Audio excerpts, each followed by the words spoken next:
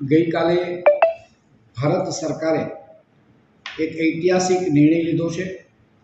ગઈકાલે મળેલી કેબિનેટની અંદર વન નેશન, વન ઇલેક્શનના સંદર્ભની અંદર સૈદ્ધાંતિક મંજૂરી આપવામાં આવી છે.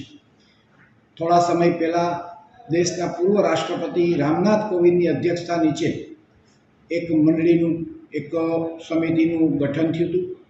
એ સમિતિએ પોતાનો રિપોર્ટ રજૂ કરીને પ્રધાનમંત્રીશ્રીને આપ્યો. અને ત્યાર પછી ગઈકાલે કેબિનેટની અંદર એમને સૈદ્ધાંતિક મંજૂરી આપવામાં આવી છે.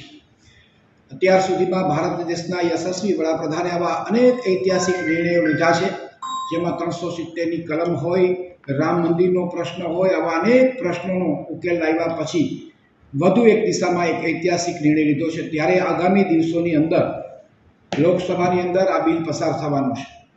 વન નેશન, વન ઇલેક્શનથી આપણને સૌને ખ્યાલ છે કે સમયનો પણ ખૂબ બચત થવાનો છે.